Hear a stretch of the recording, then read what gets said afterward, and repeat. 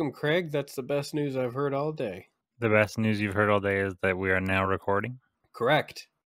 And now I'm trying to consider have I heard any good news? I heard some bad news. yeah, nothing but bad news, especially if you pay attention to the news. I the only news I heard all day because I've actually been trying to distance myself from the news a little bit. I heard somebody else's car radio loudly announcing that there was some sort of airplane accident with a hundred and something people on board. Oh, great. I didn't know about that, so I'll just add that to my pile of bad news. it's, it's all bad news. No kidding. Nothing good ever happens, it seems like. Unless you're uh, one of those good news Instagram feeds. Only good news here. Yeah, fuck those people. Those are the fragile babies of our generation. I mean, I suppose some some details of a bad news story are good. There are all the hey, look, a baby a baby survived the hospital bombing. Uh, okay, we'll call that a silver lining. One, yeah, one less dead baby. Hooray! We're doing we're doing good. But our job isn't news. We're not Cody. No, we're not Cody. Cody is very good at his job, and we are not. And we're gonna explore maybe a little bit today of how not good at our job we are especially in comparison to our doubles, who, within very short order, have completely taken over a gnome police precinct. Effectively, we might add. Very effectively. They use tactics now and everything.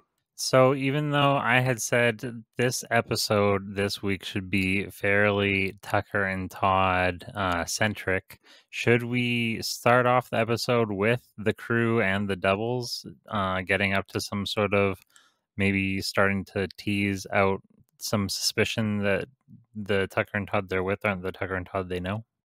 Oh, probably. I think that's the best way to introduce the boys properly is with introducing what they aren't and having the crew start to clue in on that. That's that even opens up the uh, transitional option of them kind of setting themselves aside and being like, if these aren't who, if these aren't the boys, then where are they? And then that's our that's our opportunity to go see the boys. Yeah, uh, dream transition tinkle tinkle music. Oh yeah, it's got to do that. The woo, weird energy. So if if we are going to start the episode with the scene in which the crew are looking at the Tucker and Todd with them and going something's off about this, should we do callbacks to some of the the mm, plot or details or whatever scene specifics gags in the Limitless episode when they started recognizing something was off about Tucker and Todd? I'm just now recalling that uh, the only person who was actually really skeptical of us was straight woman. So that should probably continue to be the case. Right, because at that at that time, because who was it? Was it Plato was there? Yep, Plato was fully on board, which means actually maybe he should be the one who's skeptical this time. Fool me once, shame on you, kind of thing. Oh, eh, he's like hyper vigilant. He's immediately like something's wrong. But yeah, that, exactly. That because he's doubling down on it so hard, they're easily able. They're easily able to like swindle in, him into thinking whatever I'm trying to say. Oh, you think that due to his hyper vigilance, they're actually able to convince him that they're the real deal somehow? I'm not sure. Is this a way for us to easily kick them out of the group, or do we want them hanging around for a while? Uh, it's hard to say. I'm not sure whether the uh, the crew should go off on their own once again, wandering in search of the boys, or if we haven't done that enough already. I do want to wait because ultimately, the one thing that I do think they should, uh, a, a trigger they should pull at some point, is that they meet or come across the Mandalorian because I like the idea of using the uh, the the bounty hunter of lost like memories and ideas or whatever uh, to go hunting them down, hunting down us, I suppose. Oh, would the bounty hunter be looking for the original us or the duplicates? I'm thinking of for the original us because they've had such a hard time sending their explosion smoke signal or whatever to come find them didn't work i think twice in a row or something like that and then when they finally did find us. It turned out to be not us, and so they said we need to hire a professional and and and send this fellow looking for us. I think. Oh, he's just looking for us. He's not actually going to bounty hunt us. No, because I don't. I don't. I was just describing him as a bounty hunter because the man. I don't know if all Mandalorians are bounty hunters, but the Mandalorian is a bounty hunter. So I was just using the the the language. But I think the Mandalorian, the man, because it's the Mandela effect. Yeah, exactly. It's the Mandelarian. Yeah, Mandelarian. Yeah, he's gonna he's gonna come and get us because at this point we are kind of a, a mismatched memory. Yeah, we're hazy, forgotten, distorted memories. Okay, so the crew are currently at the uh, the gnome police headquarters with the duplicates. Plato should be the first one to voice reservations. Straight woman probably agrees with them because she's consistent. Is that where they were? How did they end up at the gnome? Because they were rescued from the can the kangaroo court and being put in jail by the pseudo intellectuals. The duplicates and an entire force of gnome cops breached that place and rescued the crew and brought them back to the headquarters. Okay, I couldn't remember where they brought them back to. I felt there. I had some memory of just like a hill somewhere, but I can't remember. Couldn't That remember was that was where they extracted them to, where they met up with the duplicates. okay. I, I listened to that episode twice today. That's some research. Yeah, well, I I uh, I remembered rather I came up with something funny in response to something the very first time I listened to it, and then I forgot it. So I tried to listen to it a second time in the hopes that I, it would rekindle the thought. It never did. That's a shame. So it's just lost into the ether. They sent. They say you were sent on a duck goose. Yeah, I, I really was. I got goosed. I read that in the stupid shit that I follow. I follow takeaway trauma on Instagram, and it's just bad, uh, like ta- takeout reviews on various websites. And one of them was screaming about how he kept phoning to try to get his delivery on time, but it was never coming on time, and they kept sending him on a duck goose. He referred to it as That poor man. poor Off man. duck goose. Anyhow, uh, okay, so they are at this headquarters. Are they all? no, I'm imagining that scene from um, Blazing Saddles. Everybody's all just kind of like lazing around in the sheriff's quarters. Actually, I imagine the place is a buzz with activity as uh, the duplicates have the gnomes on high alert doing all kinds of stuff. Probably like reconnaissance and getting in touch with informational sources because I bet the duplicates are looking for us too. Oh, that's interesting. They can't fully take over our lives if we're still at large. So, are are the crew at all questioning of that? Like, didn't you guys take over this place? Like, what are all these gnomes doing? The gnomes are working for us, looking for crimes. That's that's it. We're looking for crimes Since when do you guys care about crimes? since we joined the force. I don't know. Makes perfect sense. Stan buys it. Is that is that the the group reaction then? Oh, well, that makes perfect sense. That's all they needed. Well, no, I imagine the boys would actually have a real answer like, this place is crazy and we need friends. This is how we got them. Like, that sounds pretty reasonable. They needed backup. They needed, to, especially because they've been there a while. They can lie about how long they've been there, too. We're all, we've gone native. I guess that would- that would be like a reasonable line of we were we've been here for months and it felt like we couldn't find you guys. We needed to make new friends. This is our new crew. Well, not, not like replace them, but we needed help finding you and, and otherwise looking after ourselves here. This is a crazy, dangerous place. Do you remember? I mean, do you remember that that uh, path that was just a, like an angry hellmouth? Gosh, I almost walked into that. This place is nuts. We need as much help as we can get, And the locals know their way around, yeah. and we knew that somebody could probably teach these gnomes a thing or two. They have connections. Yeah, once kind of- yeah, we've we've seen their connections. And once once they were able to find you guys, it turned out they were great at finding all sorts of other stuff, like crimes. Yeah, crimes, and of course, other people of interest. There are lots and lots of people from our Earth coming in here now. Okay, and so everybody's sold. Yes, they're sold for now, or at least they show that they're sold to the boys, but they retreat back to their quarters, which is probably a provided jail cell that's just has the door left open. And they they quietly talk amongst themselves Plato first, voicing his concerns and his skepticism. The boys have never been organized like this, except for one time. Does somebody in the crew like Stan use like recounts? You mean that one time, and it does a cutaway to a memory that has nothing to do with what Plato's talking about. Actually, it has nothing to do with them being organized at all. It doesn't even have anything to do with the boys.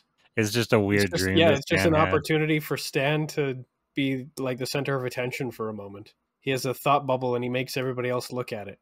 It's like an unrelated child story. Yeah. And and of course everybody will brush that off because no, no, that doesn't have anything to do with anything, Stan. Stay out of it. So Stan just giggles. Is like much obliged. yeah, he just enjoys obfuscating the situation. But uh, Plato and Straight Woman are initially concerned that the boys are actually just going limitless again. But of course, there doesn't seem to be the same like comic book villain levels of malevolence going on. They're just busy. Yeah, it seems almost like they're on different. They're on new medication. Yeah, now they're on Riddle in instead of Riddle out. I'm laughing. I forget where I know that from. Sounds like a South Park thing. It does sound like a South Park thing. I was gonna wonder, like now, and it sounds like it also could be like a Riddler sort of thing, a, a, a riddle me this, a, a riddle in, riddle out situation. Oh, interesting. Uh, y- I guess that means that the Riddler must be on Riddlin. That is interesting. Well, because at one point we talked to his Jordan B. Peterson was going to be the Riddler. Yeah, he is, and he's on Ritalin. okay, I enjoy that. Because what was he actually on? He was on some sort of like benzo something or other.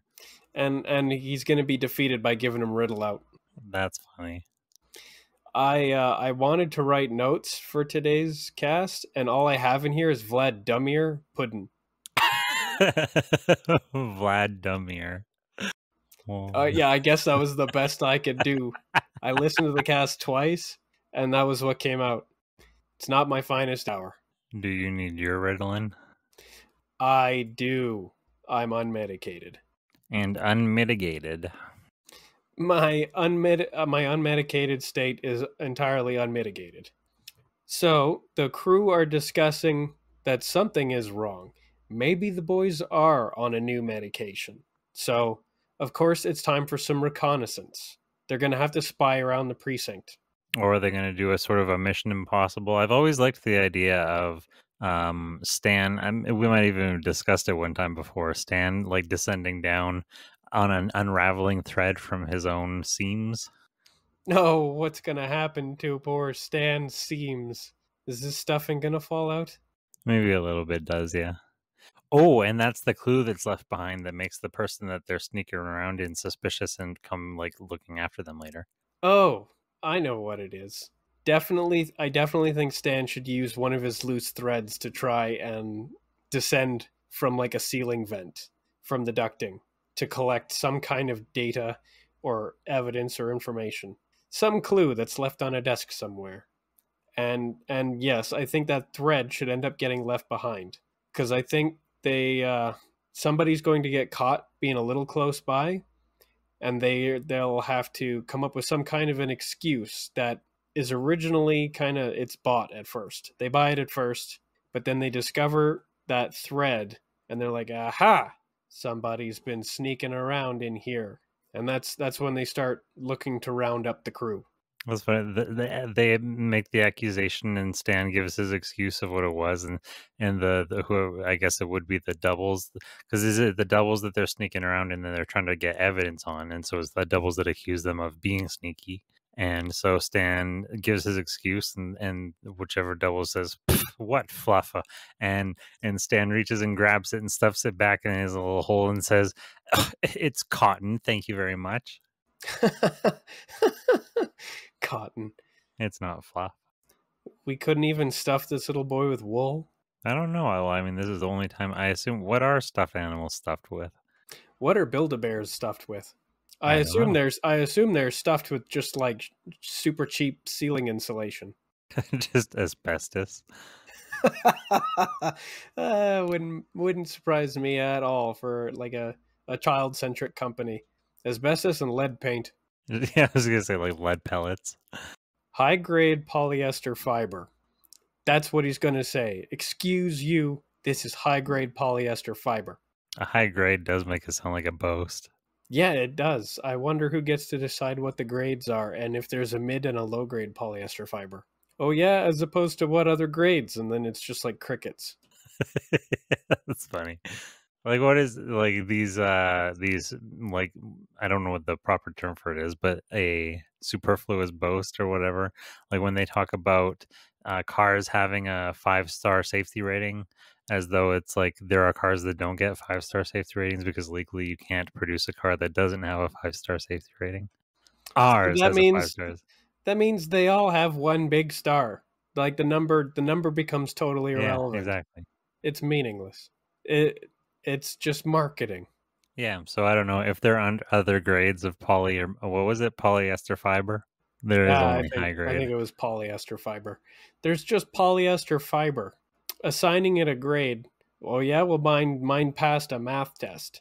Well, I guess there are construction grade fibers. Maybe he's a liar and it's actually construction grade fibers. It is just like cheap ceiling installation. I bet that's what that is. Is that is that kind of what uh one of whoever was the other uh double that didn't speak up? I'm assuming that Todd was the one holding up the big one, uh, holding out the fluff and saying that you guys are sneaky, and then uh, uh Stan grabs it back and says that's high grade polyester fiber, and um Tucker steps forward and says actually we that is blah blah blah something something he knows somehow that it's construction grade and that's what that tips their hand and everybody realizes that's not Tucker and Todd they would never know a thing like that that would make a lot of sense. They uh, somehow they conclude that we're not going either limitless and that we're not on another medication. There are no other medications anywhere present in the place. That's what they were looking for. Of course, they were looking for our meds. There are no meds. The and we're not going full on evil villains, which means we're not going limitless. And despite not going limitless, apparently we can tell the difference between high grade polyester fiber and construction grade polyester fiber, just like because Todd touched it a little bit. well also because they were the because these are social constructs that were made in a social construct factory are they actually just stuffed things as well? That's why they know. They are made out of high grade polyester fiber and they know the oh, difference Oh, and Stan is a cheap knockoff Suddenly, somebody takes a much closer look at them and they actually look like the people from like the nightmare version of Coraline's place. so they've got buttons for eyes and shit. Yeah, maybe. Well, and that's an interesting. That's almost actually. This is a cute little reference to Calvin and Hobbes, and in the in that uh, they were just a stuffed tiger the whole time. So they're like, wait a minute, and they squint at us and they realize that there were these duplicates are actually just stuffed replicas. They've got they've got stitching, they've got button eyes. Yeah, because as maybe they could do that reveal thing where one of where as the the the doubles turn away, somebody notices the zoom in camera on. They have like a tag sticking out of their neck or something. Truly horrifying. Mm, Truly horrifying. Yes. Just look at those soulless button eyes. And somebody had to like manually handle those dolls all day, every day for like what, four years with the button eyes staring back at you. Don't forget to smile. Yep, I would never sleep again. So it does when realizing then that, that they said after this, however long they've been hanging out together, they suddenly realize that they've got buttons for eyes and that they're fake. What are the, is it? What is J'accuse? What? They just how how would the crew react? They just point and and and declare J'accuse. They run. Are they terrified? Maybe they're uh Stan opens his mouth and straight woman clamps her hand over it, and she and Plato play along and just say, you know what? You're right. We should probably stop skulking around the place and just go get comfortable and behave. They're they're gonna they're freaked out. They totally recognize these guys for the shams they are, but rather than make an immediate scene, they're actually going to make a tactical withdrawal and try to escape. Yeah, I guess I was. Gonna, is the plan to escape or to trap the these doubles and try to interrogate them or whatever? No, the plan is definitely to escape because they know they already have like an idea of what evil Tucker and Todd are capable of. True. Not to And mention, these guys guys have have- an entire police force. Yeah, that is what I was about to say. So probably the only correct answer is to make a run for it. So they'll politely excuse themselves slowly with the kind of suspicious button-eyed glance from the Tucker and Todd duplicates. And then as soon as they're out of sight, they're going to start running. You just like hear the squeak of shoes as they go faster and faster. And I guess that would give them the opportunity as they as they're making a retreat. Do we give them okay, so do they do they just uh, um as you said kind of like slink do they slink back to their rooms to plan their escape or do they just immediately beat a hasty retreat? They beat a hasty retreat. Uh, it's like a high school hallway with like wet sneakers. As soon as they step out of the room that they're in, you hear their squeaky shoes start moving really fast, like they start running. They're running down the hallway, and on a flyer, there is a need someone found, take one, you know, little number, phone number slips. They run past it, but then Straight Woman runs back and then tears off one of the little slips and then runs some more. That's how they meet their bounty hunter. Would this be I feel like this is that what we've described so far is enough of an intro scene to transition to Tucker and Todd though. So before hmm Well, as soon as they start running, I expect either Tucker or Todd, the duplicates, to smack a red button somewhere that causes the place to go into lockdown. But it's gnome lockdown, which means that it the it's really slow and bad. These guys haven't had an opportunity to overhaul that system yet, so they just like need to speak into one of their cups and strings to give the order to start closing and locking all the doors. Then I suppose the camera can do some flipping around work and uh, pan back to a back to front view of the duplicates so that you can't see their creepy button eyes. And then I guess that's an opportunity for the perspective to immediately shift to the proper Tucker and Todd from the same perspective. So in that sequence of events, the crew starts running away. I'm I'm almost imagining that maybe that like it's too much information, text or dialogue or whatever. Too much is happening at once to uh, show what is on the poster that you just described. Maybe she just grabs the whole poster, and we don't know what Oh, she has grabbed. We just saw her well- grab it, but the next time we see them, she can announce what it was. I was thinking that it was a still image of a hallway that they run through. The camera doesn't move with them. The it's it's a it's a cutaway shot of the hallway with a big flyer in it. Uh, hopefully close enough for the audience to see what's on it. It just needs to say "need someone found" and then have the you know old fashioned scissor cut Oh, flyer it rests tabs. on it, and then it rests on it, and then you see her run out of frame. And while it's resting and zooming in, she slowly runs in and grabs the tab. I, I, I guess I get that. Yes, because now they really do need to hire a contractor. And it seems like uh, the rundown gnome cop shop would be a good place to post such a flyer. And then so, and then you imagine it transitioning from a scene in which we're seeing the duplicates, and then it transitions to a scene in which is the actual us. Yeah, like a, a sort of a camera pan to the other side of the room so that it's directed at the back of our duplicates, which would be indistinguishable from the backs of Tucker and Todd. And then the the scene would change around them, but it would uh, Tucker and Todd would be in the exact same position, so everything else would change except for them. And then the camera can pan back around to their front facing sides and show that it's the real them. Right. In this new setting, whatever it is. Uh, yeah, are they still in the social construct factory with Greg House? Well, I thought in the episode that they were in that factory that they had left at the end. They exited through the gift shop or whatever and it was over. That did happen, but they went back to the factory to eat stroke waffle with House. They were a, an end yeah, they were in an end credit scene Yes, in which they were at they that- were they were the in towels at the Deviants display, sitting around together around a, a box of stroke waffle. Right. But now we're, I guess, sort of presupposing that time has passed. And so, because more time has passed, I'm just imagining they're in a totally separate place. And since I think this week the episode is them just encountering a totally separate place, I think we're sending them outside of the outside, right? Quite possibly. And there's probably no way for them to get there while they're in the factory, so they do need to get out of it. I just assume that if they got I'm comfort- imagining that it, there's. go on. I'm just imagining that if time has passed, uh, they weren't hanging out. I didn't imagine them hanging out at, at the social constructs factory. I'm imagining that they would have just kind of kept wandering and rambling and running into whatever hijinks they do. Well, riddle me this. If the boys found a comfortable place where they could have fun and eat stroke waffle, would they really leave? Oh, that makes perfect sense. Greg House kicks them out. Well, I mean, if he would have got tired of them eventually. Exactly. That's what happened. They didn't they they definitely didn't leave of their own accord. They don't do that. But they were they were ejected. Greg had to get rid of them eventually. You're making the other people in the factory uncomfortable. Well, it's because all they wanted to do.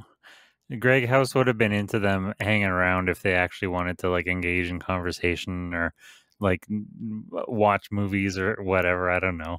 Hang out and be friends, play pool. But all they wanted to do was eat stroke waffle and hang out in the deviant section. They it you know what?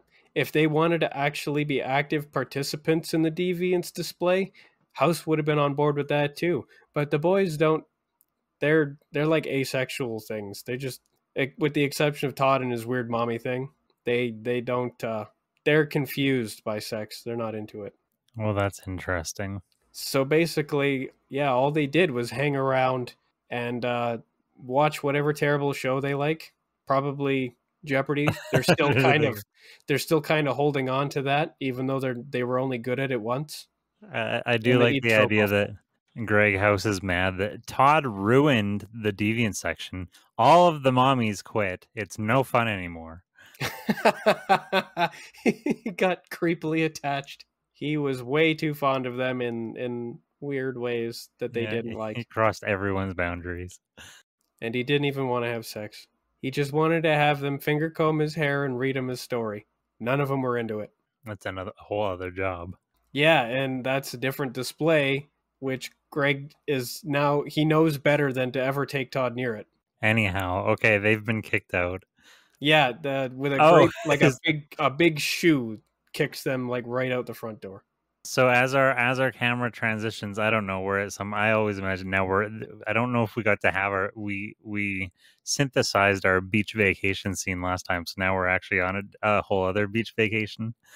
Or it's some sort of. uh Did did we manage to bring any stroke waffle with us? I think we've got like the last crumbs of some, and we're we're trading it for I don't know whatever.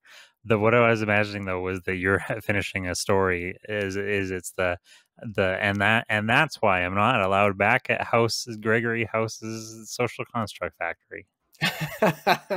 this will be the one time when we actually show us getting kicked out of a place, but like the all the concrete details as to why so far just points to Todd being the reason why we're not allowed there anymore. Oh, that's what you look angrily at Todd and say, and that's the reason why we're not allowed back at Kirk House's social. I can't even remember the words anymore. The factory. And that's why we're not allowed at Greg House's social construct factory anymore. And that's why I lost my pilot's license. Like he's got all of these.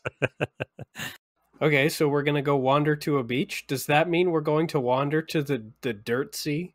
Well, I mean, if we do wander to the dirt sea, then we would come across individuals. I don't know what we, if we have anything to do with them right now, but also since we've already done the beach thing a couple times, maybe you were in some sort of transportation depot.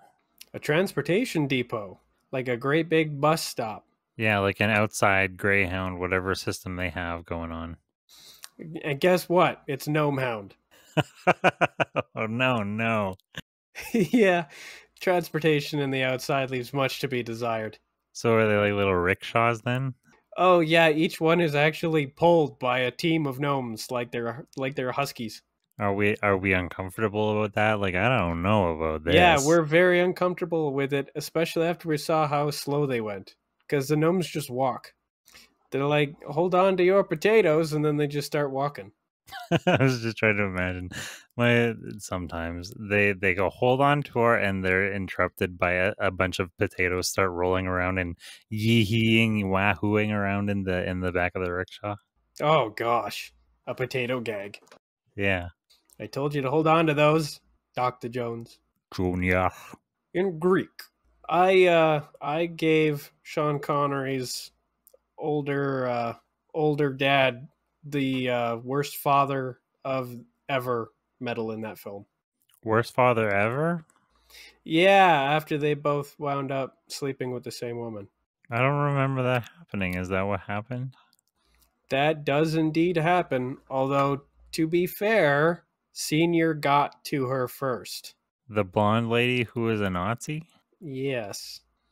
Yes, and uh, it's just as well that she did not survive the escape from that tomb. She did It's not been- choose wisely. Oh, right. I remember now. I was going to say, it's been so long since I watched that film. I don't remember how she went out, but she was there She- with the old knight and whatnot. She didn't die sipping from the wrong cup. That was actually one of the other Nazis. She, the whole place was collapsing into like a bottomless pit and all that, and she wound up falling with it. She got greedy, so she didn't get out of there in time. She was like, I gotta stay behind and collect some treasure, or something to that effect. Wow. Whatever it was, she wasn't in enough of a hurry to leave. that was, she should have been in a hurry. That's the, what I took away from it. Yeah, everybody else was in a hurry to leave, and they survived. So that was her mistake. Should have read the room.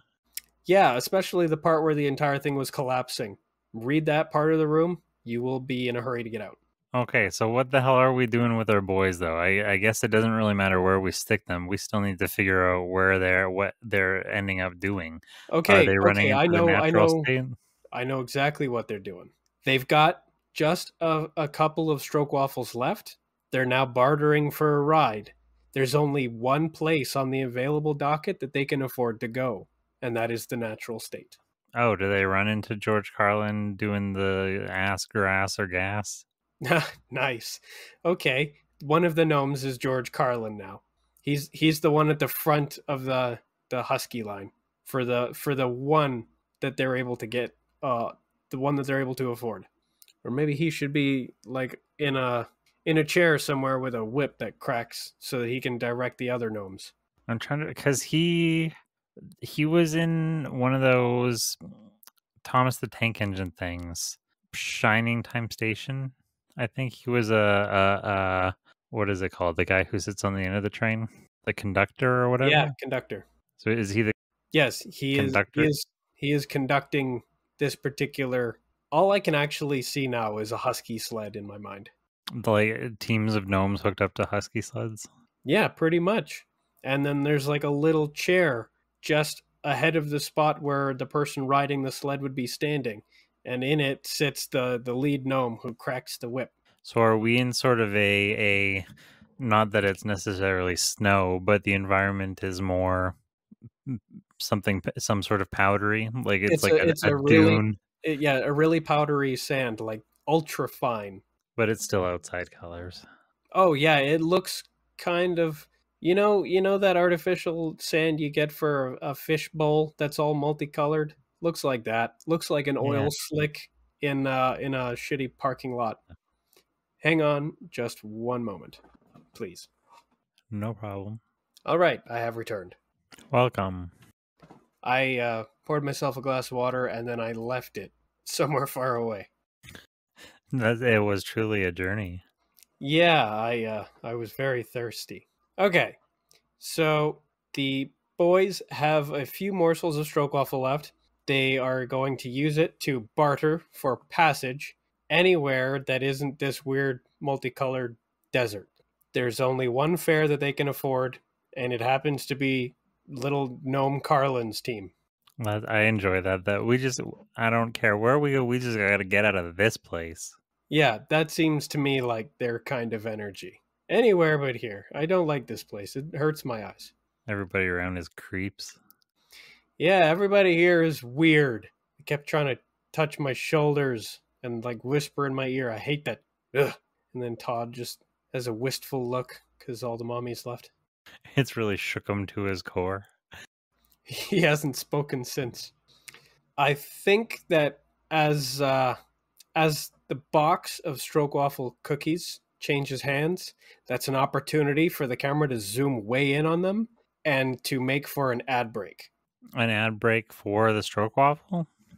Yeah, it zooms right in on the box of Stroke Waffle, so you can see the the the brand name, and then it's just like bam, and then it's it's like a a really old fashioned commercial where the the Stroke Waffle box is in the middle of like a multicolored star, and then like the rest of the screen is just like a single pastel color.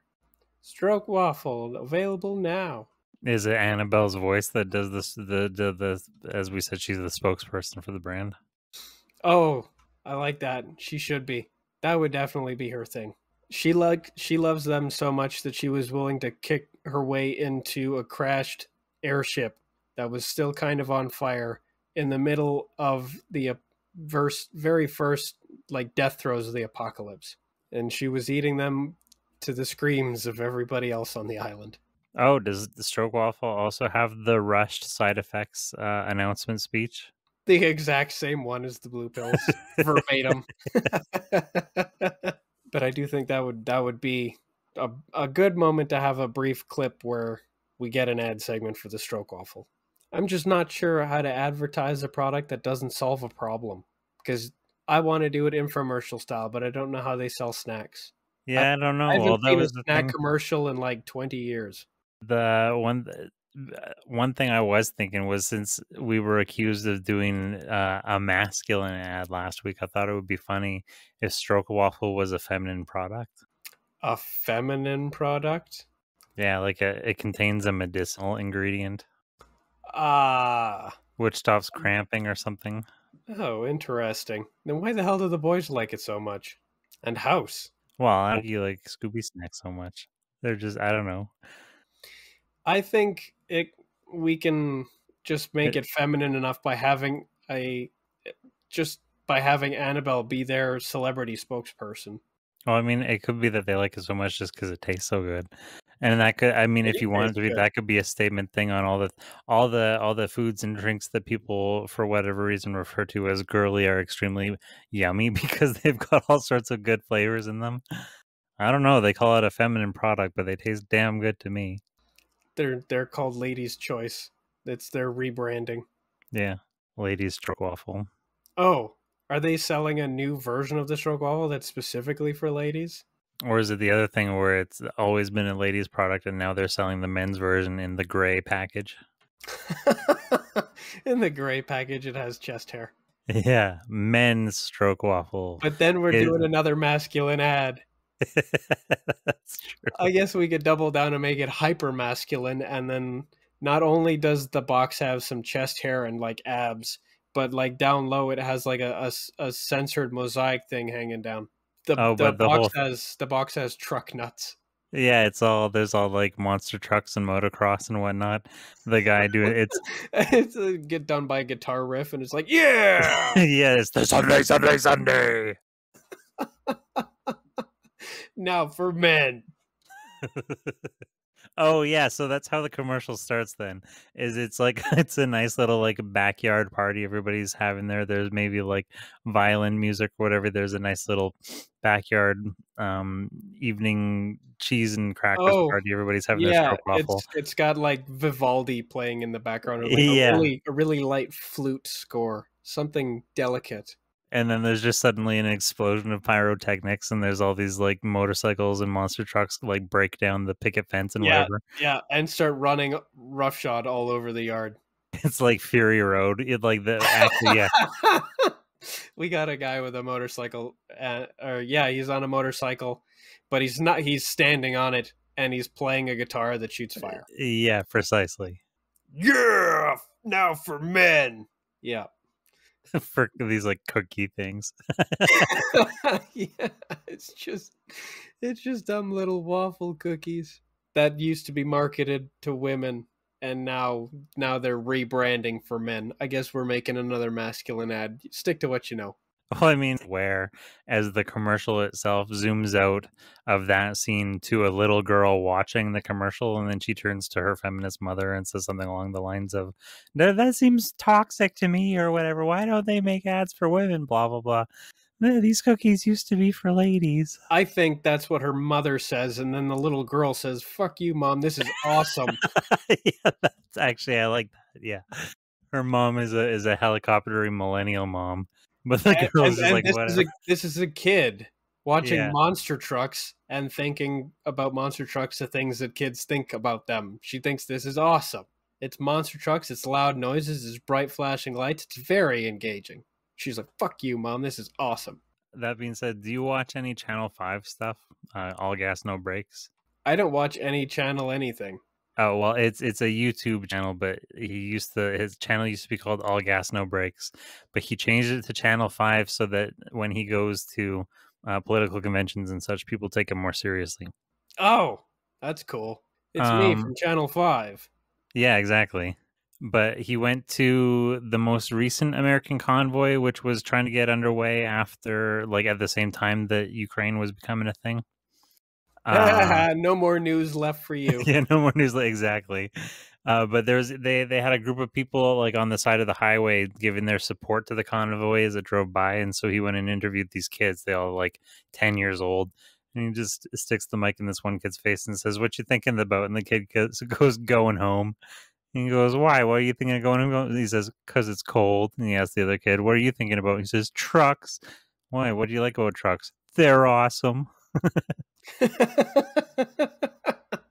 yep, that's uh, that checks out. That's this kid. She's like, "This Yeah, is awesome, kids. mom. I want some stroke waffle now." Yeah, exactly. So it's a masculine and children ad because turns out the monster trucks are for everybody. But can they tell why kids love stroke waffle for kids? Stroke waffle for kids. It turns out there's a little baby uh, monster truck riding behind the big one.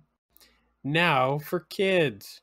And it cuts to George Carlin doing a bit about eh, get your whole family fat. There's his, hers, and babies mm, get fat stroke waffle. Oh yeah, and then he yeah sautéed raccoons assholes on a stick. yeah. yep. He then he gets to yeah go into a little tirade about fat consumerists, fat consumers. Is that how we break? So we have that whole commercial going on, and then it explodes in a little poof of thought clouds. It's being disrupted by Gnome Carlin complaining as the the the convoy drives forward. I was actually thinking that Gnome Carlin would uh be like he'd be there, but he would reach up and like rip it, rip down the entire scene like it was a piece of paper. That always works too. It's like that's enough of that. Some some kind of dismissive Carlin phrase. It's all bullshit and it's bad for you. I don't know. Big time, pig time. Cause cause yeah, it is big time, pig time. But the, I do think that it should be our thought bubbles, but somehow he's capable of grabbing onto it and like ripping it off the off the screen. And is that way his way of like, okay, we're here? Is that our time hop? Oh yeah, that's probably a great way to do a travel scene. An ad break. And, and so he's like, we're here, and we're like, we know, we still, we still, we just said anywhere but there. Where are we? Yeah, where is here? This is the last stop. This is where your money runs out. Get off. Oh, is it the diner at the edge of the universe or whatever that thing was called? Oh, interesting. Wherever we are, it should be uh, at least near to the natural state. Right. I'm trying to think of what a segue would of that would it. I mean, what is there any way we if we were just taken to the natural state? Well, that's where he that's where he brought us. That's the only place we could afford to go, and it is the crappiest place in the outside. Oh, have we already introduced that? That that's why we're here is because this is this is the crappiest place that we could go that in the outside. Well, we that was what we could afford. We could only afford the cheapest, crappiest ride. And it turns out that the cheapest, crappiest ride goes to the cheapest, crappiest destination. So is it sort of like a cheap hotel? We first get there, like when you get to a cheap hotel, like they've dumped all of their money into the lobby. The lobby looks kind of nice, but as soon as you move like into the elevators, you're like, oh no, this place is a dump. Does the natural state even have a hotel, or do we? Does it actually? Is it actually like a big cardboard cutout, and we open the door and we just walk right through it? Well, I'm not saying it's like a hotel, but I'm saying when we first arrive there, they have like the big welcome to the natural state sign, and that's a very nice sign. And we get out and we're kind of like, oh, well, this looks like it could be kind of okay. And then maybe that's when that sign blows over and it was made out of cardboard. I don't know. Oh, the sign blows over, and there's some kind of nasty, thorny plant behind it. Turns out the entire place is a horrible nasty, painful shithole. I don't know. I have actually forgotten. So, what was the premise of the natural state? I Because I, I, remember that it was. I I can't remember the whole thing was that it was a play on. It's a it's a play on opposition to everybody thinking that natural is best. That it, oh, it uses all natural ingredients, or it's a natural home remedy, or this that other thing. Nature is not good. Nature is neutral at best, and sometimes it's actively malevolent. Smallpox so, is nature. So hypothetically, this place started off not being natural, and then somebody declared we need to go all natural. Yes, that exactly. ran amok. Exactly. This it's it's basically a post-apocalyptic town in the outside. At one point, it was a thriving community, and then a growing political force decided to turn it to closer to nature ultra conservative, even more than the most ultra conservative we've ever heard of. So, like, we need to go back to how things were in our natural state. So, just exploring the history, was it uh, like a, a, a settlement of people that just ended up there, and then it happened to just become a society that was able to say, "Let's go to back to a natural state." I'm going to assume it was actually an entire community that got sucked into the outside. And that was when there was a big political shift during that state of upheaval. So did it get sucked into the outside like in the late 90s when everybody was starting to get alarmist about um, natural states and whatnot? Also, it's full of anti-vaxxers because that's not natural. Those kinds of people. So of course everybody got sick. So they're all like radical hippies. Yes, of the worst kind. But they're they're more like hunter gatherers now we get to do a bit of an echo of that sort of regressive society that we found living in the uh, cracked open components of that big ship once upon a time. What what happened to the thought yacht? Right. They had dissembled into ultra tribalism. They went Lord of the Flies. So how I okay now that we've how large of a place are we dealing with then that we've come to? It's probably just a town it would be really difficult to convert an entire city or a nation to uh, the natural state. So it's a small, rundown town. Everything is broken. All the windows are shot out. It's an infested hellhole. Are there since everybody split off into their various tribes? Are there other towns nearby that like eh, were more successful or lucrative or whatever because they didn't regress to this natural state? I assume if this place broke down into tribalism, it would mostly be those who wanted the natural state and those who rejected it, and anybody who rejected it was probably uh, exiled. So they've gone on to create their own little commune somewhere, probably nearby and I'll bet you it's like a utopia with like bullet trains and like all kinds of sophisticated medical technology. But you can't get in without a permit. And you have to know a guy to get one of those. Yeah, so it'll it'll be highly advanced, but it turns out it's mildly oppressive as a utopia. You need a permit for everything, including just coming in. So are we uh, like I don't I know what do you mean you don't have a citizen number? What? Where's your barcode? So are we actually in, how are we interacting with these places? Like I know that we've suggested that they exist, but I don't really know what Tucker and Todd are going to do in them. Well, Tucker and Todd are going to go for a walk through the one path that leads through the natural state. But once they saw that it was like ugly and unwelcoming and inhospitable, would they actually even want to? Well, they turned around only to see that, you know, Jort Gnome Carlin was already leaving the, leading the sled team far away, and everything behind us was more that multicolored desert that we didn't want to see any more of. So we we just have the one choice. Might as well go see. Maybe it's not as bad as it looks. Maybe they've got a mercantile. We can buy more stroke waffle. Yeah, maybe they've got stroopwafel. Is is this now our Scooby snack? Oh, definitely. And I think the the first time stroke waffle gets mentioned out loud after the ad it should play a little riff from the ad, just like in the background. Oh, it now has its own theme music. Yeah, like a little three note guitar jingle. Diddly diddly doo. and since since we've got nowhere else to go and nothing else to look at, we might as well go on into the natural state. We can't we're not aware of the the nicer commune down the street. As far as we know, this is all there is. So we might as well go in and have a look. Yeah, we don't we don't we don't learn about the nicer state until we're stuck trapped in the natural state. Oh, trapped, you say? What do we?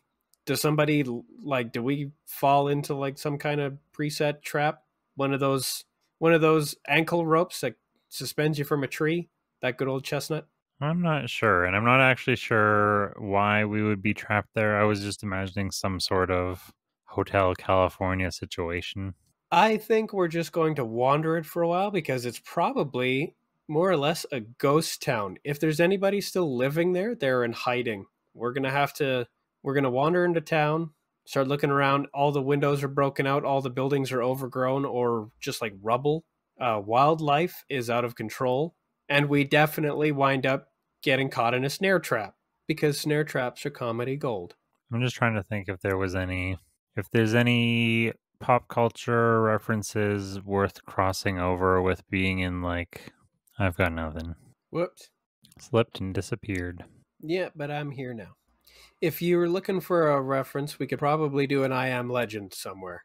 Is that the concept of what I Am Legend was? Was naturalism gone too far? No, but the world was returning to a natural state now that people didn't live in it anymore.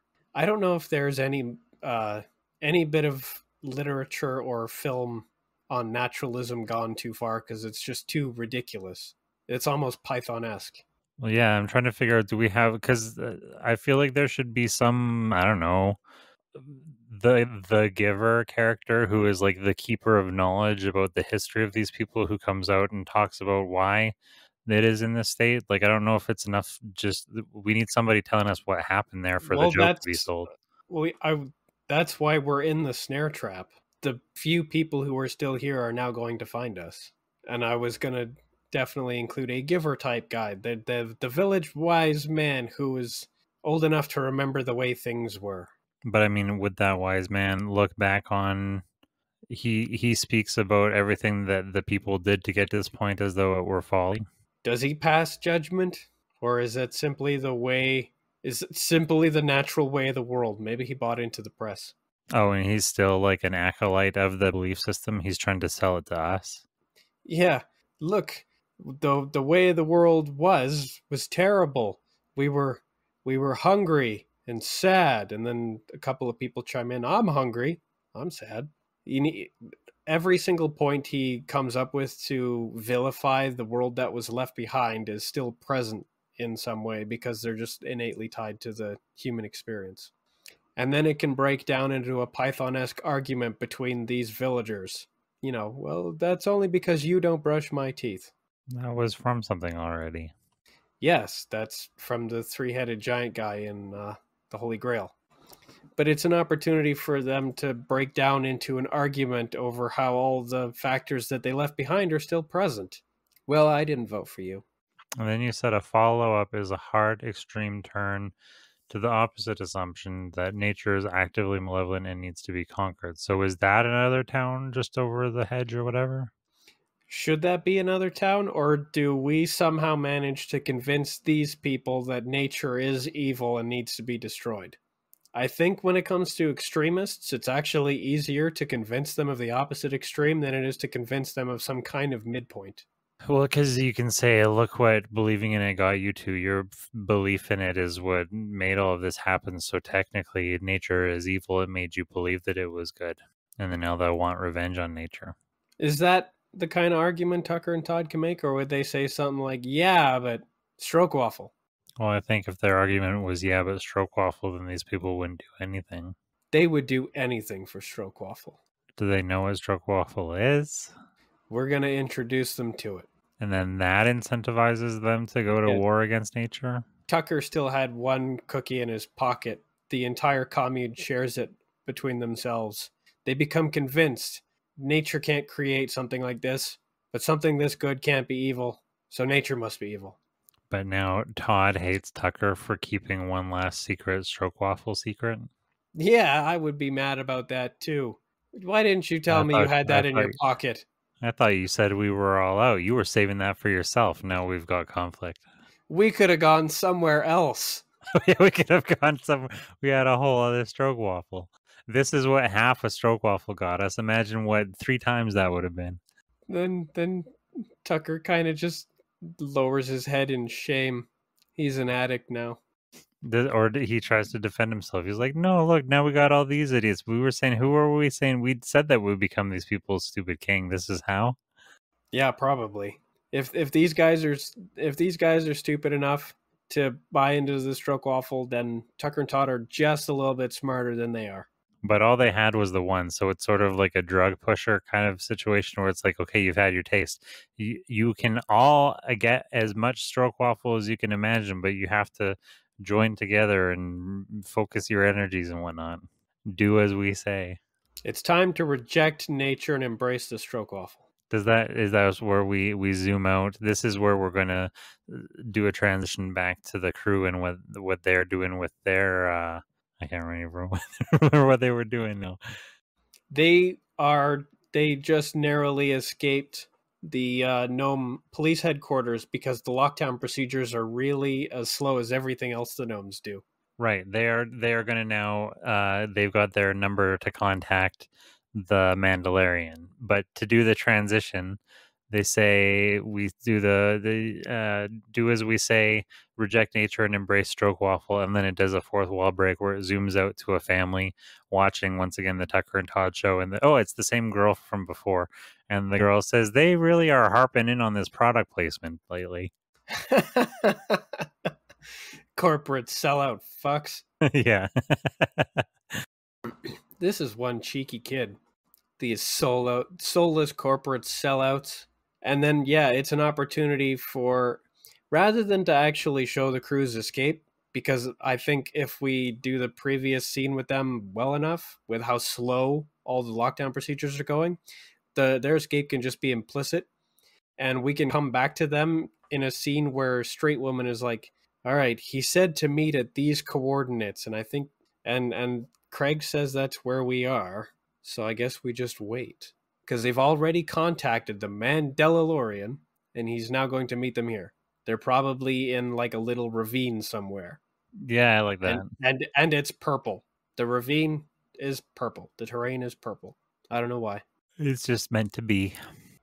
So how is the Mandelarian going to appear?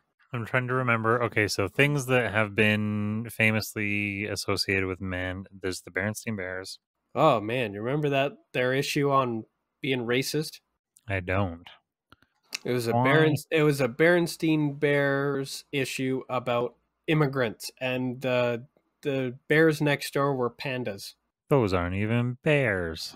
and it was about it was about being tolerant and open minded and welcoming. But of course, Berenstein Bear Dad is all you know grumble nuts about these panda neighbors coming into our bear neighborhoods. All of the examples are so minute. All the examples of the Mandela effect. Yeah, like none of them are really like hugely culturally important. Except for the part where everybody thought Mandela was dead. A whole bunch of other. I think I think death. that was the origin of the Mandela effect. Yeah, that's what it's based on. Everybody just erroneously thinking, "Oh no, shit, that guy's dead." I was. It would just have been cool if there was some like. There's one. There's like the Flintstones, whether there's a T in the name or whatever. Flintstones or Flintstones. Looney Tunes. Looney Whether the Tunes is tunes is spelled with two O's. Fruit Loops. It's all a lot of spelling. That's because people don't pay really close attention to those stupid and unnecessary details. The Fruit of the Loom logo. Was there a cornucopia in it or not? I thought it was just grapes. I was always more preoccupied with how looms make fruit. Yeah. Oh well. I mean, I guess I only just literally thought of what that would be. A loom is what you weave with, and the fruit of the loom is woven things. The fruit of the loom is the whatever the loom creates, the product of the loom, whatever it yields. Yeah. Exactly. But I didn't know that. I just was like loom fruit, whatever. Well, trees have limbs, so why wouldn't they also have looms that could bear fruit? Because trees don't weave cloth. And also, in if you're familiar with uh, with Roman Catholic prayers, Jesus is the fruit of Mary's womb. So, fruit of the womb and fruit of the loom were very similar in my mind. I thought I was talking about babies. You always put it on your junk, anyways. Yeah, I sure did. I had lots of fruit of the loom. I had a lot of Fruit of the Loom until a girlfriend told me that Fruit of the Loom was for poor people. Yeah, well, then I made fruit in her loom. I made sure not to. Oh, is that the way around we're supposed to do it? yeah. I've been I've been making terrible mistakes all this time. I made fruit in her loom. It's pretty gross. Yeah, well, nobody cares what you think, Todd. That's mean. Yeah, okay, go tell your mommy. I can't. She's gone. Where were we anyway? We were transitioning to the crew. Right, we need man the Mandelarian to show up. I just can't think of a cool way that he would. I mean, we could always play it straight and he shows up via jetpack. I mean, that is interesting if he is dressed as the Mandalorian and, and is he kind of like mad and snippy that everybody always, oh, confuses him? No, that's the Mandalorian. I'm the Mandelarian. I hunt, the- a, I hunt a very particular kind of prey. it's a Mandela effect thing. I I'll I will assume that straight woman made contact with him since they arranged a meeting. She managed to tell him the kind of people he would be looking for, or at least enough about them that they've qualified for his expertise. They're some kind of like improperly remembered thing. That could be referenced to in like she starts to explain why they've asked him to come and he says, I know, you explained it all on the phone. Or on the gnome. That's the on the gnome phone. That's why she didn't have a long conversation. Everything on the gnome phone just takes too long. So just need to meet, send coordinates. So I don't know. Does he get right down to business? So who are we looking for? Who are you and how did you find me? You your flyer that was right in the police precinct. Oh, right. I did put that there. Oh, does it, he launches into like customer satisfaction survey? How did you find our flyer? And now, would you say it helped you? It was mostly satisfactory. Oh man, that is a perfect way to make people feel like you're super wasting their time in a place that doesn't even have time. So yes, I definitely think that that he's like, "Oh, you found one of our flyers. What would you rate your customer experience so far?" And thus comes a little survey. Can we do this later? Fill it in now for a for a chance to win. Win what? A boat. It shows a picture of something that's anything but a boat. Yeah, it it uh it has wheels, but it's just a ramshackle thing. But it works on the dirt sea. So once the survey concludes, it's just a series of really generic, uh, strongly disagree, disagree, neither, agree, strongly agree questions. We've all answered a bajillion of those. Well, I almost feel like would would straight women actually would turn the interview around on him and say, "Listen, I don't have to answer any of your questions. I want to know about you." And they need some sort of proof of like, tell us what kind of work you do. How can you find our friends? What's some like giving us an example of a job that you've done before that proves that you can find our missing friends. I actually think that's probably a very good point, and she would definitely be the kind of person who would turn that around. So yes, I agree. We ne- we need you to establish your credentials. So maybe it's an opportunity for her to also tear down the scene in a similar way to how Gnome Carlin did, and she's like, "Hold on, we're not going to do any of that. First, you're going to tell us something." And, and then she proceeds to launch a Oh, in that case, does it become Go on. In that case does it become a different scene then when he launches into customer service se- survey mode? Is he put on a different costume? Well, no, I think it's just because this this survey sheet takes over the screen, Oh, okay. and she Looney Tunes rips it down, and then she starts questioning him, full Inquisition style, and gets him to start establishing his credibility, which is where he gets the opportunity, because Stan is going to be like, "Oh, oh, I recognize this guy. He's the Mandalorian," and he's like, and then the Mandelarian has to get upset about that and say, "No, common error. We we are not the same guy. I am not that guy. I have a totally different job." And then he explains precisely what it is that he hunts down, and it's these misremembered things. Is he also sort of bitter and oh, whatever over the fact that the Mandalorian got a television show before he did? Is he's been trying to get a Mandelarian like reality series in in in production for for years, and it, it keeps just running into problems, and all of a sudden, out of nowhere, the Mandalorian is getting all the shine. Uh yes, definitely. He should be bitter about the Mandalorian's higher level of success and recognition. Nobody ever confuses the Mandalorian for the Mandelarian for sure. yeah, that's interesting. Oh, by the way, was it uh was this Howie Mandel plays the Mandelarian? Mandalorian? The Mandalorian? I think that would be really funny because then he doesn't want you to touch him.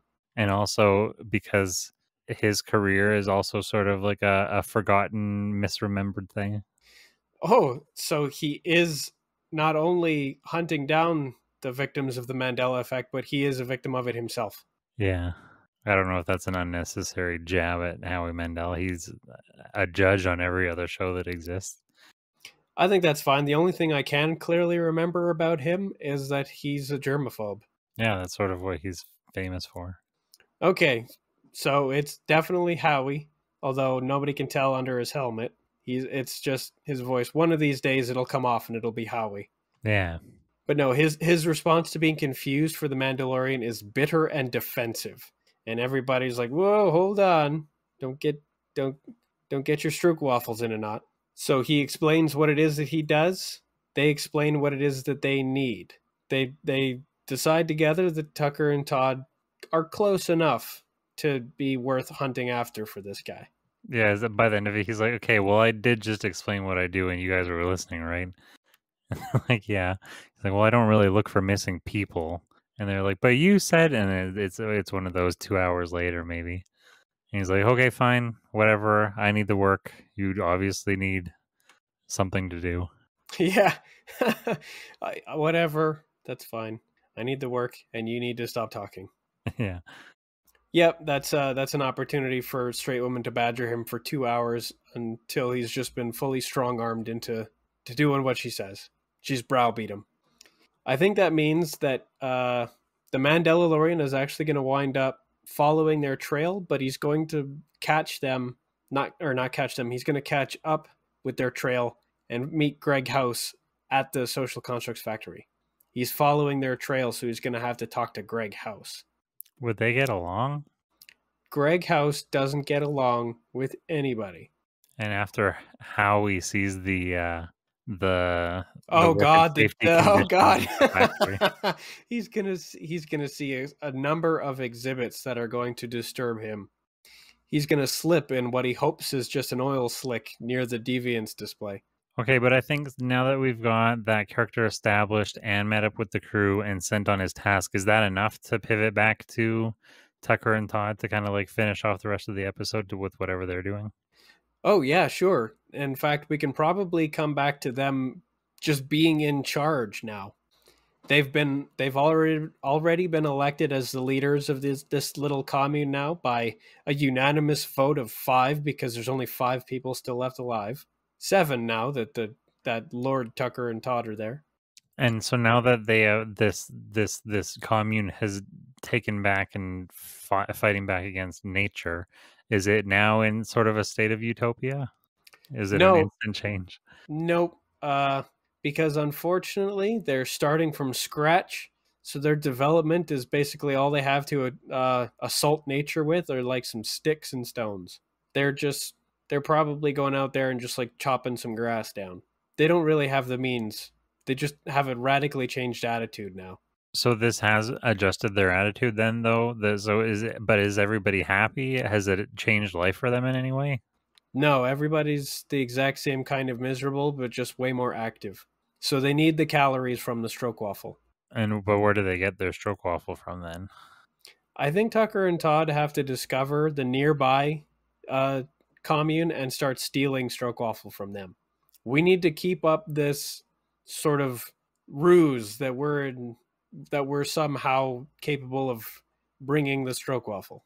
Would would the the people now invigorated and and whatever by the their change in life would they not just declare war against that commune?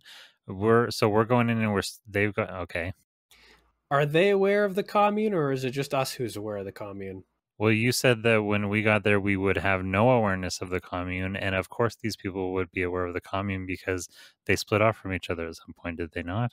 Yes. The highly sophisticated and advanced commune is aware that there's a little dirt hovel full of nature lovers. The nature lovers have no idea that the other commune exists.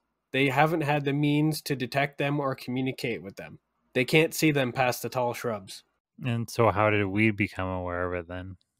Well, we stepped slightly to the left, just enough to see it past the tall shrubs. Turns out none of them have ever quite gone that way. These guys are idiots, man. And so we just start sneaking in and breaking in. Uh, so do we have? So do Hang we on. go to that place then? Like, how do we discover that they have stroke waffle? You remember that episode of The Simpsons where Homer had a crayon up his nose? I didn't watch The Simpsons. Shame on you. There, S- Homer's doctor prints off scans to sh- to look at and to show Homer, and the way he holds it, his thumb was always over the spot that was important in this particular episode. Consistently, his thumb was covering up the crayon that was all the way buried in there. It turns out that Homer had, Homer had had this crayon up his nose for his entire adult life, and that's why he's stupid. But the doctor never noticed it because ever since he had been Homer's doctor, his thumb had always covered up this crayon just because he'd always hold the sheet in the on same the- place. on the X-ray. Yeah, it, same principle. These guys have never looked in that direction except from the same position. The, Okay, the, but- the little the little tall shrubs have always blocked the other neighboring city. So we took a step to the left and we saw this place and we just went over there and said, "Hey, do you guys have stroke waffle? Can we have some?" I'm pretty sure that they have a stroke waffle factory and we can see it. And so we somehow trick those people into thinking that we're okay guys, or we we become we need go to cat infiltrate. burglar. Cat burglar. It's especially easy because Todd is a cat. So we do some Pink Panther music as we cat burglar our way in. Oh yeah, I'm I'm I want the Pink Panther music. I think we need to do it in in the the full cartoony getup too, where we're we're in like black turtlenecks and pants with the black beanie hats on that we pull Yeah, down over our faces, but they're on backwards. And but so we're actually successful at being cat burglars, though. Well, these this super sophisticated society is like WALL-E's society. Nobody's actually in a position to do anything about it. They don't even notice us. Turns out they don't care. They're they're some kind of cross between uh, the WALL-E humans and the humans from Equilibrium. So they're all on like happy drugs, and they're also just like fat and complacent. Uh, it is sort of funny. I like the idea that uh, if they're WALL-E humans, somebody somebody sent this other neighboring village into that village. Exactly. They're gonna become exactly the same kind of people. Just their their entire society is going to revolve around developing industry to make more efficient uh, production for stroke waffle. You can distract. You can distract, motivate, and incentivize any group of broken people with stroke waffle or consumption, I should say. Mmm, stroke waffle. Beedly doodly doo. Yeah, like it, it, it becomes an advertisement somehow. Is the this the fat the sad fat WALL-E people all all grazing like cattle on their on their stroke waffle, and they go mmm and stroke they're waffle. they're not they're not sad at all. They're very happy, or at least they think they are. They they're not fulfilled, but their needs are met. Yeah, they are they are actively happy, but when I look at them, I am sad. Yes, when I when I think about how hollow and empty their lives are, and how full their bellies are, But I'm at the same time, they make me want stroke waffle. I wish stroke waffle was a real thing. But yes, that that is their destiny now that we are beginning to introduce stroke waffle to this what could be considered a virgin society. It would be like bringing iPhones and porn to some of those undiscovered, untouched, like still in their prehistoric state tribes that exist in the untouched corners of Earth. Yeah. Give like giving them instant gratification machines of some kind. Was It you would- ever read about those? them. Well, they, I can't remember which it, they called them cargo cults. John Frobisher, I think, was the name. Let me look up this name. John, who to what now? Maybe it wasn't. Fr- oh, from John From. They were. Fucking John from. Did you say frickin' John From? Frickin' John from, very closely related to From Software. Yeah, it is. But this is with a U, I believe. No, it was this guy. What they call Oh. the the Tanna Islands, I think. Well, then you have to pronounce it Froom. Froome, yeah. It's got an umlaut. on the island of Tanna. I think the idea, he, the, I believe John Frum was the guy that found, or Froome, found these people, uh, which were like South Pacific Islands. And after after World War II, a lot of the uh, like cargo that had been jettisoned from ships and planes in the area was like washing up on their shores. And so they had all of these supplies for the U.S. military and the U.S. Air Force, um, but they believed that they were set the people from these islands believed that these supplies were sent to them from by whatever weird gods they believed in and so they Ah. started Sh- Xibalba finally gives back. yeah exactly and so they crafted all of these like insane um memorials or whatever you want to call them uh effigies in honor of of air force like american shaped planes and military apparel and whatnot it was very inter- interesting stuff Yeah, that seems pretty normal to me. They had, with none of the context of what any of those things are or what they're for, they'll just assume. Yeah, so that'd be sort of interesting in a way if uh if the the stroke waffle for these people is like the the what do you call it the spring not a spring of eternal youth but like the the forbi- forbidden fruit it's the the the fruit of forbidden knowledge Whatever it is, it's magical to them. That's that's definitely true. They are all about it. And and like their neighboring commune, which will eventually these two uh, towns will kind of grow and envelop each other and become one. But they'll they'll be completely indistinguishable by the time that does happen. Because Tucker and Todd will continue to like not just steal stroke waffle, but like steal bits and pieces of fabrication technology used to make the stroke waffle. yeah and i mean as the stroke waffle is being funneled into their society would they start then to now that they have something to thrive on they can actually kind of like multiply Yeah, yeah. Instead of slowly withering away and dwindling, they will start to they'll experience a boom for a while. The boom the boom comes before the crash. They don't they don't start to uh regress into fat amorphous blob people who have everything done for them by machines so that they can spend more time eating stroke waffle. So at least for now they still do their own toil and use the stroke waffle as vital sources of calories. while at, at the same time developing a, i guess kind of a cult around tucker and todd Yeah, because we're the giver. We are the. We give them the stroke. the stroke givers yeah, we are the stroke givers. The the town elder names us the new town elders and leaders. well you guys are just better at it Well, because for now we're managing to keep the source and production of stroke waffle a secret, so it just to them it seems like it just comes from us. But we have definitely damned them to follow the same path as their neighbors. the stroke. yeah it's just playing the entire time anytime anybody's talking about stroke waffle Yep. That is uh communion will now be called giving the stroke. So we we giving feed, and receiving yes we feed our supplicants the stroke waffle. you will now receive the stroke And so it's time for Tucker to look to Todd and say, "Uh, You said this place was a dump. Look at us now. We're in charge. We own our own town. How awesome is that? And then that's probably the perfect opportunity for like the famous last words thing somebody to discover that all the stroke waffle comes from uh, like a machine and that they don't need us.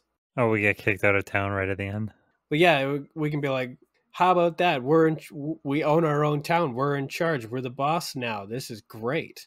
We can have as much stroke waffle as we want, and everybody does what we tell them. And then that's the perfect opportunity for like a like a Molotov cocktail to be thrown through our the window to our small estate because they found the machine, and it's not Bert Kreischer. we don't need you anymore. We have your secrets now. We are the gods. yeah i guess we live long enough to be the heroes that they blah blah blah blah blah or whatever Yep. Basically, we managed to fail to keep a lid on our own production and outlive our usefulness to these people. They don't need Oh, us no. anymore. So, yeah, we get ejected from town. They've seized the means of production. That's exactly what's happened. So somebody out there, somebody in there wrote a book. Karl Marx shows up, sees the means of production, and so the uh, and since they're in a commune, that's the perfect time for a communist manifesto. I'm just trying to think of how how would the communist manifesto be particularly focused, or it's all just about stroke waffle. Yeah, and it's all about seizing the means of production of stroke waffle specifically. So it's a much shorter book. But I mean, it's a pretty good read. It talks about how important it is that the people of the commune serve stroke waffle directly and not its representatives. So we get shit canned. I think it is that means, good that we that get means, shit canned. That means we've been kicked out of two places in one episode. Well, because I was I was wrestling. We be, we become the kings of this place, and then whoever ends up tracking us to that place struggles to pull us away from it because we don't want to go back to not having over any power over anything. Oh yeah, no, we definitely need to ruin it all by ourselves. I also like that whoever, whoever does track us to that place, they find us we're not there anymore. Yes, it's gonna have to. We're gonna go with the rule of three on that one because first the Mandelarian tracks us down. Plus, couple other places on our list to visit. Oh yeah, for sure. But for this one episode, at the very least, the Mandela the Mandelarian tracks us down to the Social Constructs Factory, then to the Gnome uh, Gnome Hound uh, terminal, and then to this town, the Natural State. And every time he misses up, he misses us by a little bit less, so he's getting closer and faster. Yeah. So should we? We've been kicked out of this place should we find other some other means of transportation, or are we just rambling? We probably just go for a walk now because the the sled is gone and there are no vehicles in production either here or in the nearby town that aren't like specifically in service to stroke waffle transportation. Ooh, and then so maybe that's actually a good way. Maybe this is beginning we're on a bit of a we we we we we end here like holding our thumbs out trying to hitchhike or whatever but the, on the next episode we can open it's been however long we've been wandering in the desert and we come across some sort of like uh an oasis kind of place is whatever our next place is oh i like that we're standing on like a dirt path with our thumbs out just like walking hoping somebody will give us a lift tumbleweed comes by tries to eat us yeah tumbleweeds, man, that shit's dangerous. And then yes, I suppose either either it closes out on us like walking into the horizon down this road with our thumbs out, or we do kind of start stumbling upon an oasis, and that's where we leave the boys. Well, I don't have any ideas right now of what it would even be. Some room of requirements place in the desert. I like that that it shows up as we need it. So I guess we don't need it now. We're not currently on the verge of like imminent death or anything. We're just like sorely inconvenienced by being kicked out again. So we're just hitchhiking off into the distance and evading man eating tumbleweeds. Yeah, I would want to take time. Uh, I feel like we have so many premises that we've never actually tapped, and I don't know what I want to do next week yet. We've got all week to consider it. Yeah, so I don't know what it is. We're just wandering in the desert. Yep. There somehow this desert has a path and we're just hitchhiking along it. Although it would be pretty funny to hitchhike through the middle of a desert where there is no road and no expectation of people passing through it because then you've got your thumb out for nothing. Just hoping. So, uh, as we walk off into the horizon, into the distance, uh, a tumbleweed probably blows down this little path and you can hear somebody say ouch i suppose that's fine and then that's an opportunity to transition away from that scene to the mandelarian arriving at each of these locations because of course he's going to bump into house so it's probably the scene where he well, to have uh, go on does it make sense to right at the end cram in seeing him arrive at all three locations, or should we have been peppering in him arriving at those locations somewhere else throughout the episode, and now we just end up a prolonged shot of him showing was, up at the? I was actually thinking that this entire thing would actually end just with the scene of him landing at the social construct factory and entering it. Like, oh, okay. He just shows up at the very first place that was our last one of our last known locations. So the hunt is now officially on, and he's on our trail. So either he just enters, or he uh, enters, makes it far enough inside for Greg House to see him, and then Greg House is going to have to say the same thing he probably, I assume, he said to us when he first saw us previously, which is a uh, practiced and very unenthusiastic tour guide line, and then that would be where it cuts out. That works for that one, and then the next episode could start with him. We we don't need to see him visiting the second place we went to, the Gnome Hound Station. We could end up with. Are you visiting... sure? Because I want him to interact with George Carlin. I mean Gnome Carlin. Oh, I guess yeah. Gnome Carlin is funny. Okay, then there's no reason that he doesn't have to. I mean, they don't they don't have to, but even a, a brief peek maybe maybe that would be where it begins is like at the very end of his investigation there and Gnome Carlin won't shut up. So he just like leaves and Gnome Carlin's still talking. Yeah, it, it begins with him trying to get away from the the the station, but Carlin just keeps trying to like chew his ear off about whatever story he's telling. You'd think gnomes would talk enough to each other, but I guess they don't. Well, some people are just extroverts and also his entire gnome sled team have bits in their mouths so they can't talk anyway. But i think that's a good place to end it him arriving at the social construct factory and coming and encountering greg house. Yeah i think that makes sense. Which makes it a, an appropriate cliffhanger. And it keeps all of the balls in the air everything's addressed properly. And we have an idea of where to start next week but we'll we'll comb through our premises and see what we can see that we can squeeze in there. Yeah and I guess we can actually start because we're approaching, we're on the other side of the halfway mark. We can kind of figure out what the end point of the season is going to be and start setting up what we're moving towards in that direction. And for that, we will definitely need Jeff Bridges to make it to the Abaddon space station in his uh, big, clunky Ironmonger suit. Right. We're going to have to do that next week, maybe. Yeah, because going to need to use Elrond and Fantasology stuff to close it all up. Cool. Well, that is planning that we can work on then yeah, I think I think that's been an episode. That has been another episode of the Tucker and Todd cast. A little tired. Yes, extremely. But but but pretty good. Yeah. You've been Todd. You've been Tucker. And this has been a cast. Bye. Bye bye everybody. Fuck Tucker, Tucker sucks. and fuck Tucker's friend Todd.